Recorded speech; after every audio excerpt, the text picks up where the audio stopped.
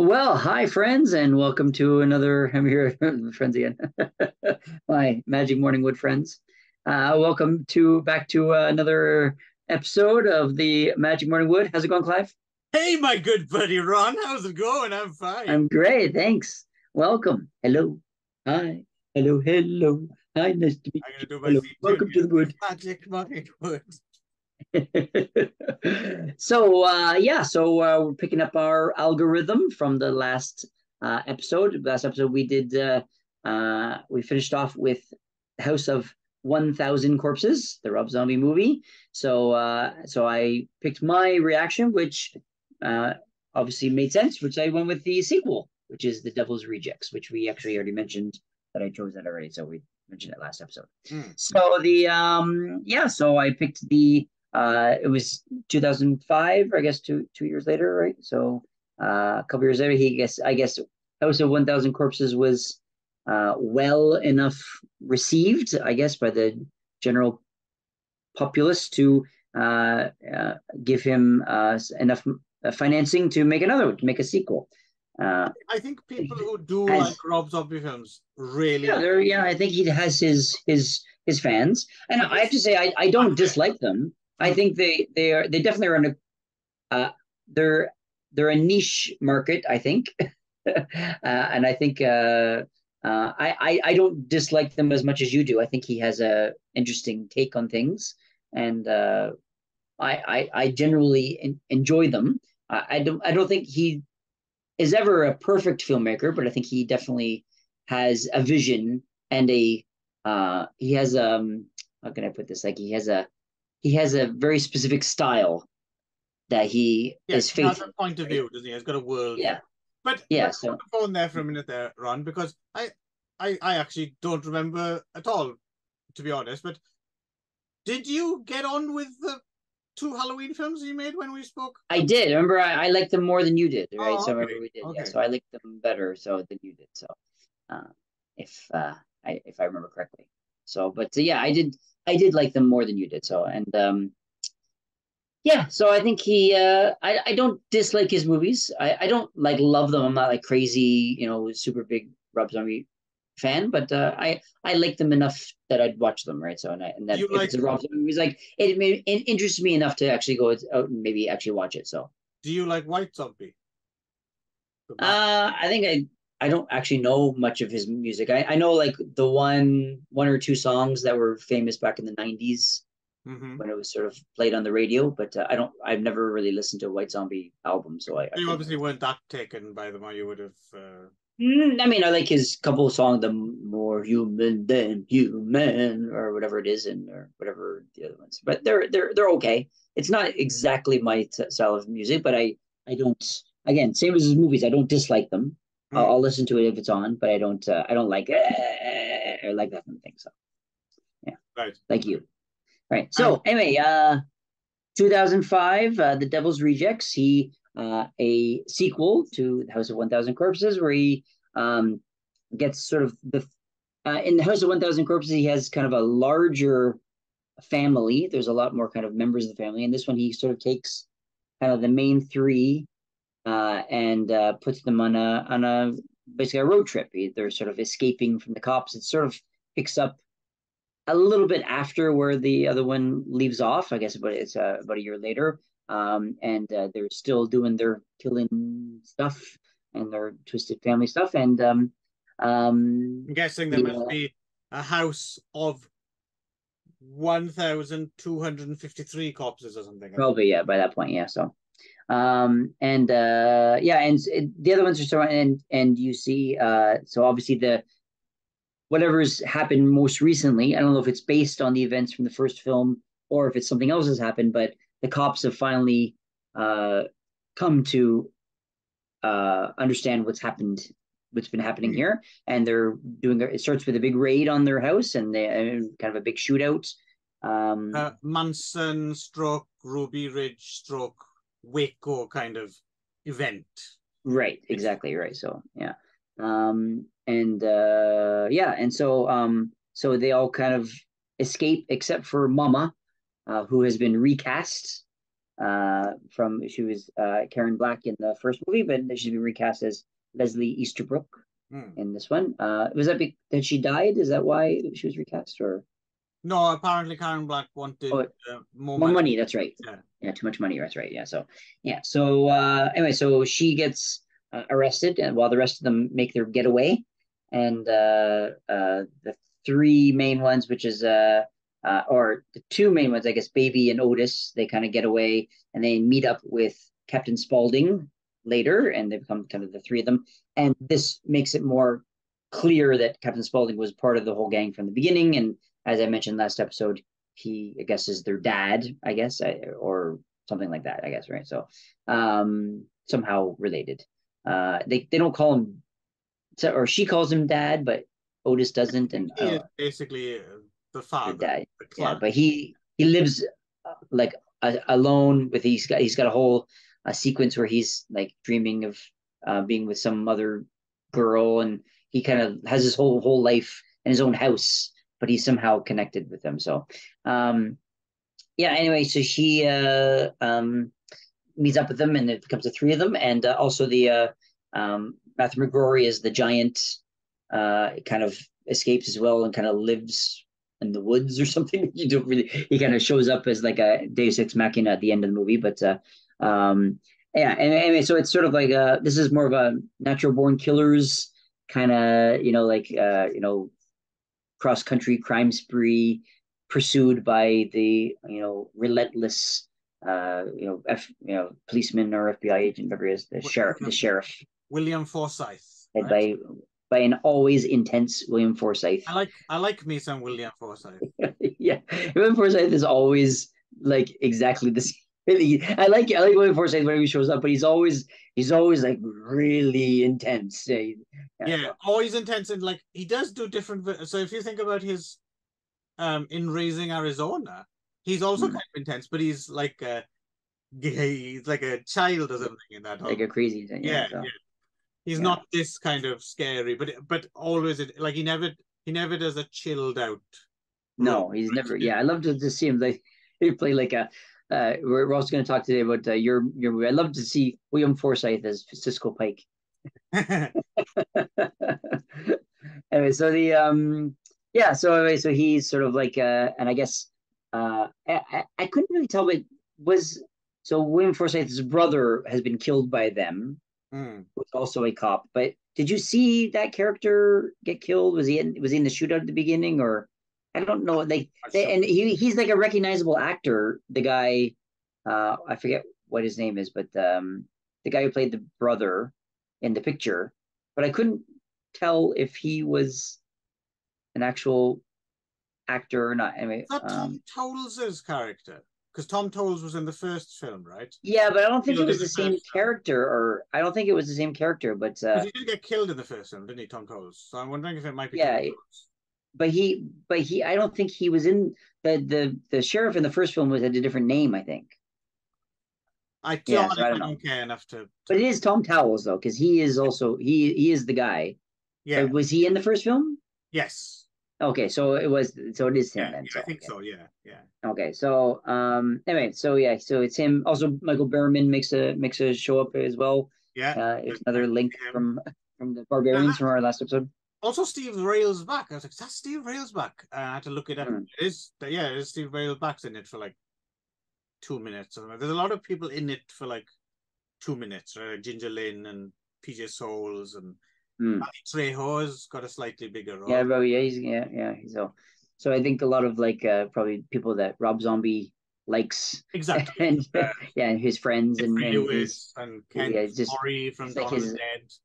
Yeah, his uh, it's probably his like um excuse to meet get to meet these Yeah. people that he used to Yeah. probably grew up loving, right? So Yeah, again, um, it's fanboy filmmaking, isn't it? Yeah, yeah, really, yeah. So he throws them all in there, and then they go on this sort of like uh, cross country. And this one uh, foregoes the supernatural element that was in the first one, and it's just a straight up like uh, good old fashioned killing. Yeah, it's like a Charles Starkweathery kind of thing, Yeah. Kind of yeah. Yeah, yeah. And Yeah. so they go off and and you know you know terrorize and torment people as they go, and uh, Ends kind of like the Wild Bunch. Yeah, yeah, well, bench, yeah. So it's yeah. yeah, they're kind of avoiding the sheriff, and then they have their yeah. It's just, I mean, it's just essentially like a series of vignettes of them finding a person and torturing them and killing them, and moving to another person, torturing and killing it. So really, um, hmm, it's yeah, it's it's quite uh, uh, yeah, it's quite repetitive in that kind of repetitive in that. And then they do meet uh, Sid Haig's uh, character, uh, calls someone uh, called uh, Charlie Altamont, who ends up is like a uh, uh, made played by Ken, Ken Foree, who uh, is uh, I guess an old friend, and he kind of runs this sort of I don't know like backwater like red light town. yeah, it's a border. It's like a border town, uh, like the one that um in from Dusk Till Dawn, that kind of. Mm, yeah, exactly. Yeah, which I found really kind of interesting. I was like, that just the. I, I assume places like that must exist, do they? Yeah, I guess, but, like places in Tuan places like. Yeah, I guess, but I was like, how do they find like people to work at these? It's like, I was curious how they find like employees, like they. if these, uh, anyway, so really they put ads in the local paper. Yeah, as in the local paper, right? So um, anyway, so then he ends up like betraying them because uh, you know Sheriff Whitehall kind of you know, threatens him and then kind of sells them out. And uh, yeah, and so then and uh, you know kind of uh, they escape and you know there's lots of uh, and then um, Sheriff Whitehall is sort of like getting his own vigilante justice. He kind of throws the law out and he wants justice for his brother. He and turns to be just as psychopathic as them. Exactly as they are, and he's like sort of nailing Otis's hands into the chair and stuff like that, and ends up uh, uh, and ends up uh, kind of trying to strangle baby, and then uh, Matthew McGrory shows up, uh, as I said, a Deus Ex Machina at the end, and just uh, breaks his neck for comes out of nowhere, and then uh, yeah, and then they get away, and then kind of uh, it ends in sort of a shootout blaze of glory as they speed towards a mm. kind of a, a a car, a police car blockade Right? And I'm so, assuming they survived because there's another. Because there's a part three, yeah, exactly, right. So you, you're supposed to, I think, think that they because they're being shot. You can see them being shot, but yeah, yeah I haven't seen the part three, three no, from no, Hell, which just released a couple years ago. No, it's like 14 years after this, right? So yeah, it's like only a few years ago, right? So, uh, so obviously, and it, I and I read the synopsis for that and it says that they were were escaping from prison. So you assume that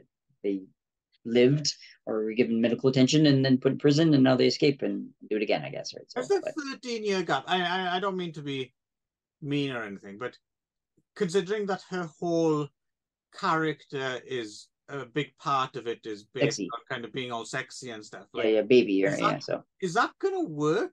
Like, I'm I'm, I'm curious. I, to be honest, I mean, as much as I mean, these movies are not they're not perfect, but I mean, they're watchable for me at least. Uh, I'm I'm I'm I'm really uh, curious about this movie. I just want to see how it works because it's so far removed, and it's supposed to be the same characters. And I, I'm really, and I heard it was kind of disappointing. I heard some some reviews for it, but but uh, I'm, I'm I'm I'm curious just to watch it because I just want to see what he does with yeah. it. I'll see it in a few years. I need to calm down a bit. I've just watched two in a fucking row. So because I, I think also, I mean, he's he's made quite a few movies now, and I feel like he's must have learned some lessons. So I'm I'm curious. Yeah, I mean, I I saw. I saw the last one of his I saw and I didn't like at all was the Lords of Salem, right? Okay. And that was yeah. before that. Yeah. And there's another one he's made I haven't seen called 31. And there's mm, the, one. the one I, I think might work for me. The one he made one animated film, didn't he? Um Did he? Like a Mexican wrestler, like Adventures of El Super Beast or something like that it's called. I'm a little bit curious to see Oh, the haunted world of El Superbeasto. Yeah, there we go. Yeah, I was slightly oh, okay. curious to see that. Never heard of it. Uh, That was a while back though. That was uh, maybe even before this actually. So yeah, so Devil's Rejects. What did you make of it, Ron, and how did it compare to House of One Thousand Corpses? Well, I think uh, I think it in general it's it was a better movie than. I think it it, uh, it dealt with some of the flaws from the first one. Um, of course, as you said, it's a little bit repetitive and uh, uh, again, it kind of has one of the flaws in the first movie that it didn't fix is is starting up here and kind of staying up yes, there. I think right. Yes, so yes. I think it's the same thing. I think that's just his style, though. Is he likes to so, stay yeah. up there and just to do things there. yeah. So there's not a lot of uh, uh, breaks there's not a lot of uh, yeah, dynamic shifts, whatever. But uh, um, yeah, I thought again, I thought the performances were fine. The uh, uh, gore was pretty interesting. It was pretty good. He did some interesting, you know, things with uh, the kills and stuff like that. And uh, uh, it was, you know, it held my attention at the very least. You know, I think, I think in general, it was, uh, it flowed better than the first one because a lot of the first one had a lot of, there's a lot of kind of like choppy filmmaking in the first one. Uh, whereas this one kind of, I think he learned a few lessons in terms of filmmaker. Uh, but yeah, again, it's not a perfect movie. Definitely could have used uh, uh, some editing, and it's a little bit long, an hour fifty. This one, so I definitely could have used uh, some editing. But um, uh, yeah, I don't know. What about you? What did you make off with uh, Devil's Rejects? Well, I agree with you that it's an improvement on the first film. And actually, when I first saw this film when it was new, I remember actually quite liking it. Mm-hmm. I, I remember being quite surprised. I was like, "Oh wow, this is so much better than mm. House of Thousand Corpses." Mm. Um, and I actually actively enjoyed it. Um, mm-hmm. And I was expecting to this time, but no, like maybe I was watching it straight after House or something, but it was mm. just because it was the same, like you said, it was the same mm. carried over mm. just ah, from the beginning. I was like, right.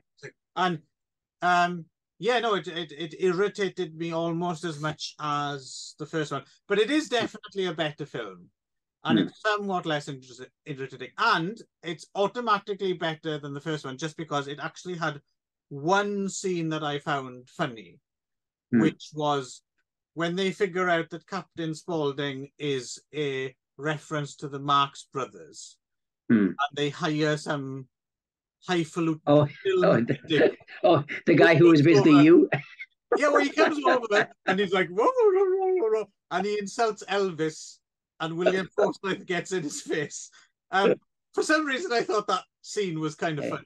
Yeah, um, the, the, the movie critic guy here, so yeah, I thought that was kind of funny, and the fact mm. that William Forsythe got so angry because he had to go at Elvis, um, right? That kind of, but again, if that was in a another film, uh, it might not have, you know, in an in a good comedy, it would right. be one of the least funny scenes, if you see what I mean. Right, right, right. Yeah. But in the middle of all this shouting and shooting and go and all that, it was like a little oasis of a mm. kind of a lighter touch, and I quite liked right. that. It right. seemed unusual. Um, and then it just went back to doing what it normally does, right? Um, yeah, right.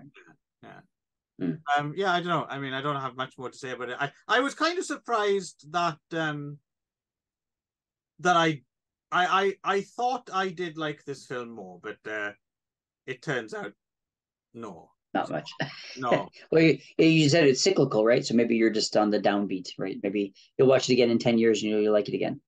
I don't know. I, I can't imagine what I was thinking. I might have been high or drunk or something. I don't know, but uh, it's really possible. But uh, but yeah, I can't imagine why I would have enjoyed it the first time round. Like you, I'm slightly curious to see Three from Hell, but I, I need a break. I, I, I won't be getting mm. it for a while. I'll just put on the right. put on the back. I may I might watch it and I'll let you know. Right, So I'll I'll I'll, I'll get to the monsters before I get to right, Three right, from right. Hell. I think. Right, right, right. Yeah. yeah so. yeah, I just want to see what he did, did with it. Now he wrapped it up or whatever. So mm. yeah. Mm-hmm. But uh, yeah, I guess that's about it for uh, Rob Zombie. So moving on to uh, your reaction. Right. So. Yeah, so I went with uh, Karen Black, and uh, I was looking through Karen Black's filmography, and uh, I actually I sent you a message. I was kind of quite um, never really thought about it. Before. I've always liked Karen Black, and I know she does interesting things. But fucking hell, she's got a lot of really interesting films in her filmography. I mean, a whole bunch of stuff. I was like, oh yeah, she's in that, she's in that, she's in, oh she's in that. She's like things either I'd seen and I liked, or things that I uh, wanted to see that I haven't seen yet. Though it's quite a very very interesting uh, list of films if you ever take a look at it. So I decided to go for a film uh, I hadn't seen before, uh, but I, I kind of almost be seen for about close to 30 years now because I remember this being on television when I was a teenager and I was away from home and asking my father to tape it for me off of television, and he didn't. He forgot, so I didn't get to see it. And then, Bad. yeah, I was like, oh, I want to see Cisco Pike, and then it's just been one of those films.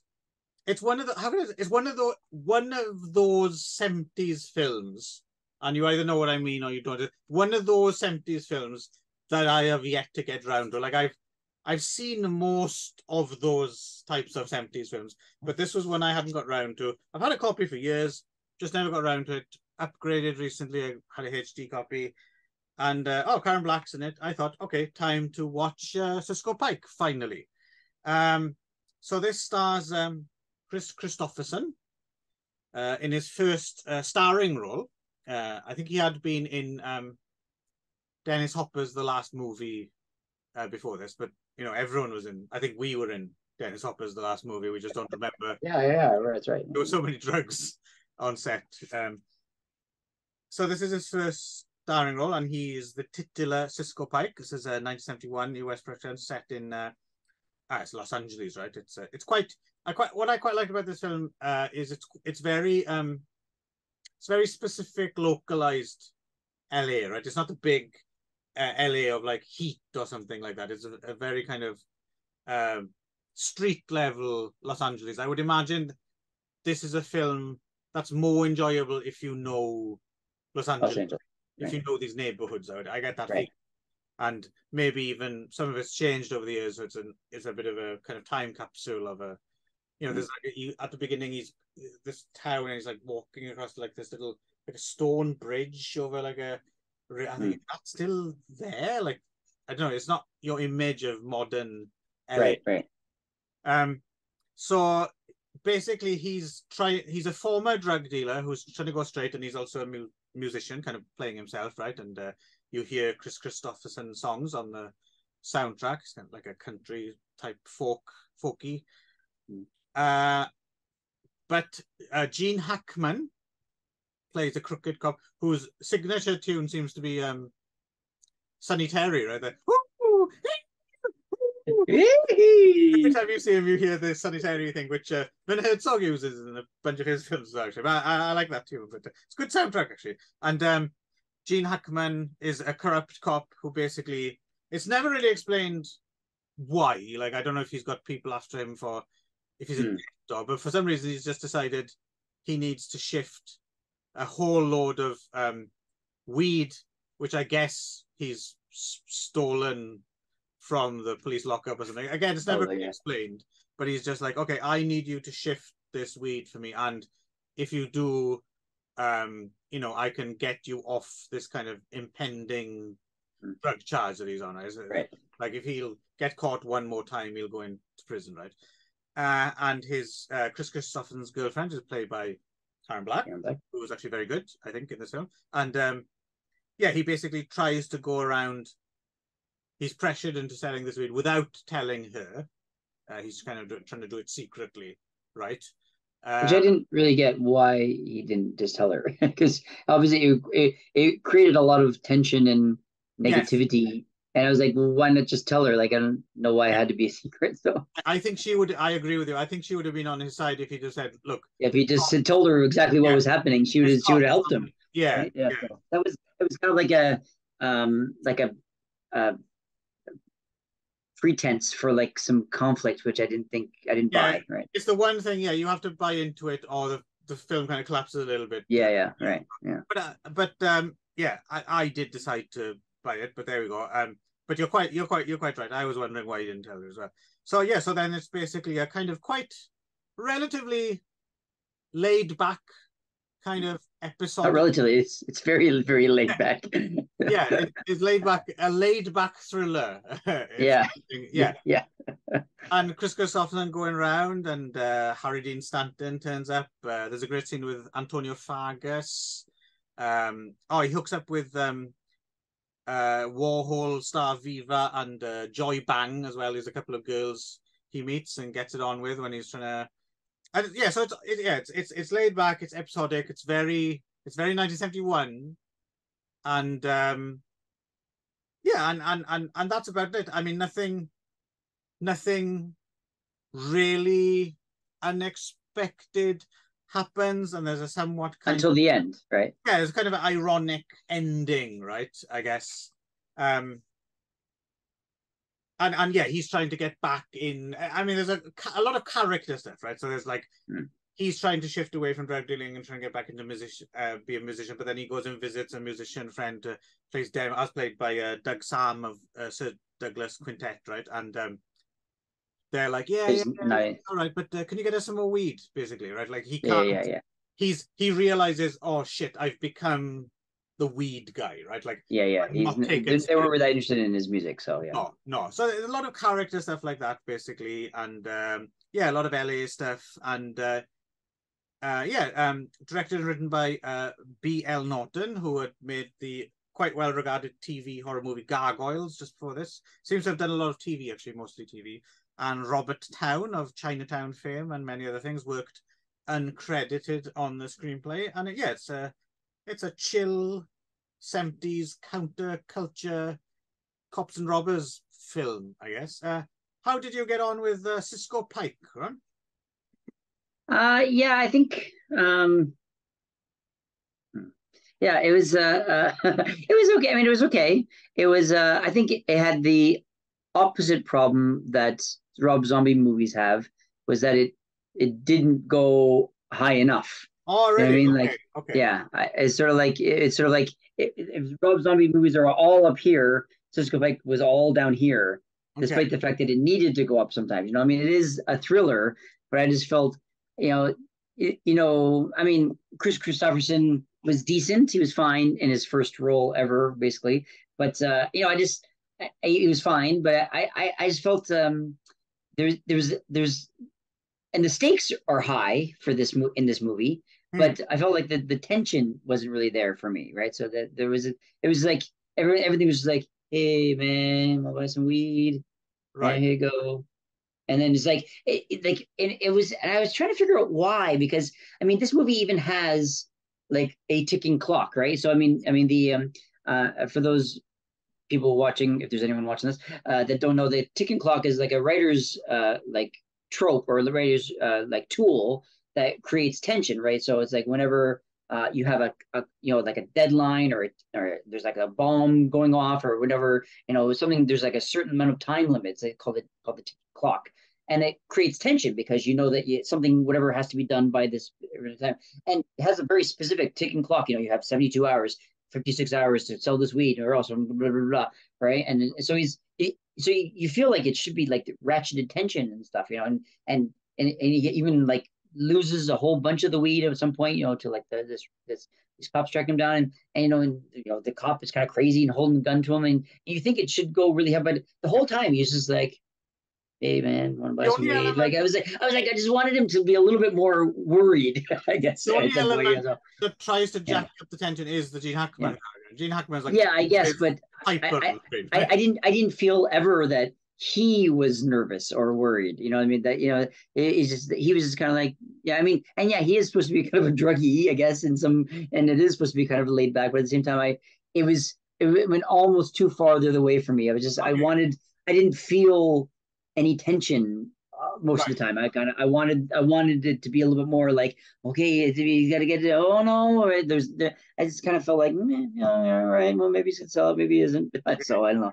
That's one thing I guess. was- That's interesting because th- th- those things that detracted for you are Yeah. kind of exactly what I like about the film. Like Oh really? Okay. I, I I think it's because I saw a lot of films for whatever reason like this when I was growing up on television, and I Mm. always gravitated towards these sort of Hmm. um, yeah, these kind of slightly more laid back posts, kind of easy rider counterculture right. American films of the early seventies.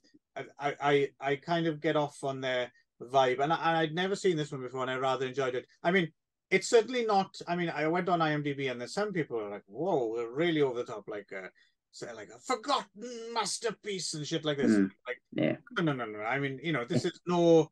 It's not like French Connection or something, which Gene Hackman would go on to. Mm. do. It was a very different film, Right. studio film, but but you know, it's it's not that, but it's just I don't know. I for me, it's it was just a nice, laid back kind of little. I I enjoyed the act of watching it was pleasurable. If I'd have had a joint, I would have smoked it. You know. Yeah, yeah. It, it felt like that. It felt like like something you would watch and like tell, hey man, this you know, this, like it just felt like someone smoking weed would want to watch this movie and just relax, right? I think, but you know, being a thriller, I kind of wanted just I wanted a little bit more of like a, a tension, a little bit. I wanted a little more dynamic going up a little more, right? So, and then Gene Hackman does it a little bit, but uh, um, I don't know.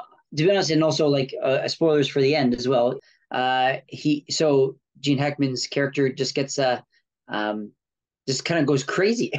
it starts, yeah, and uh, he starts like uh, the, I mean, there's like a helicopter and a police chase and stuff, which again should be pretty, you know, you know, uh, climactic and stuff like that, but it just still kind of felt like meh. And then he kind of came out of nowhere and starts shooting at the police helicopter, and and I so it sort of started to go a little bit off off kilter for me a little bit then, which is that I didn't. He he seemed to be very um, involved with self preservation for the whole movie, and then sort of lost his character at the end, and at the expense of some action, right? Which I, I thought didn't really work that much for me. So yeah, I mean, I, I agree with you in, in, in one way. It could just seem to be kind of like a rushed, how exactly we're going to end this man kind of ending. Right. But yeah, then, yeah, yeah. On the other hand, I think what's built into it, which is kind of clever, is because we don't actually know what's motivating uh, Yeah, I guess. Yeah, I suppose I can maybe. Oh, okay. Maybe there's maybe some there's some really heavy people after mm. him, right? So right if he doesn't get it together, he's like might end up in the bottom of the river or something, right? So right, right. So I, I kind of gave it the benefit of the doubt because I was enjoying the film. In the same way right. as you said, I decided to go with the fact that because Karen Black does seem like a very, very, very nice, forgiving, yeah, friend. yeah. If you just said to me, uh, "Look, I the man's on my back," right? You were, oh, really? Oh, fuck, I'll help you out then, like you said, right? Yeah. Yeah. yeah. And that was my big, I think, I mean, that I wasn't able to get past, I think, which is right. that I, it, it just seemed like a really contrived uh, conflict, which didn't, uh, which I don't really she's, like that much. You know, she's it, you know, it's all my worst, my biggest pet peeve in movies is usually like if you just say what you say right, the one thing to the person and then just the obs the just the choice to not say something which would make everything fine. Think how many films wouldn't exist if they did. Well, that's what I mean. It's it's, it's such a such a trope and such an overused yeah. kind of you know like terrible she's, she's writing writing writing uh, concept, right? Didn't you think she was very good in that role though? Yeah, I thought she was really yeah very very different than Mother Firefly. okay. Yeah, and I thought she was really good, and, and definitely I liked the scene where he shows up and he really kind of freaks her out and she kind of you know runs out the back and so, so that, that was that was pretty good.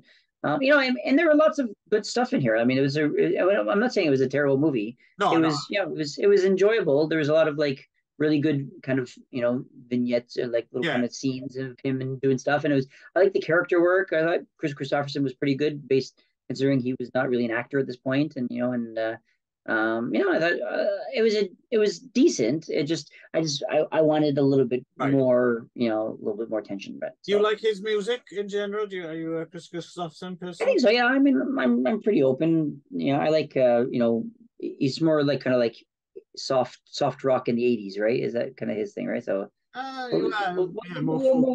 I, I know I know a couple of his songs when I hear them, but I, I can't really. Right.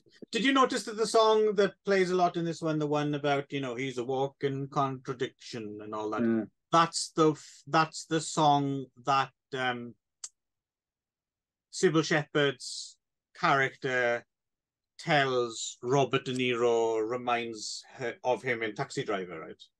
Mm. And then he goes out and buys the Kris Kristofferson record for her after taking and taking to the porn theater, and she's like, "Oh, oh okay." That's that's the song she mentions that she thinks Travis Bickle reminds her of. Uh, I see, I see, I see. Okay, yeah. Mm-hmm. Um, yeah, I, I, mean, also another thing I, I quite dig about these films from the early seventies as well. I, I I do enjoy I do enjoy me when people are good at it. I do enjoy me a little bit of um ad libbing. Mm. I suspect there's quite a bit of it here, like, but not too much. Like, it, like some, I'm sure some of the stuff with Harry Dean Stanton, they must have come up with on the fly. And and also, I quite like the bit when the cop pulls over uh, when Kris Kristofferson's in the car with Viva and Joy Bang, and they're like trying to hide the the drugs and stuff, and there's the Mm. back and forth. He eats I it thought all. that was- yeah, I thought that was quite cute. That was that seemed to me unscripted, right? Right, right, yeah. Um, and it was like on the one hand you're thinking, well, no, don't annoy the cop, but then on the other hand, well, it's such a nice little scene. We'll yeah, we'll yeah, yeah, yeah, there, yeah. kind of thing. so, Yeah. yeah. Speaking of Harry Dean Stanton, one thing that made me laugh is like Harry Dean Stanton was always old. I don't think I think he was born an old man. I was, This is true. like, I was like, this is 1971. He's still old in this movie. like, Yeah.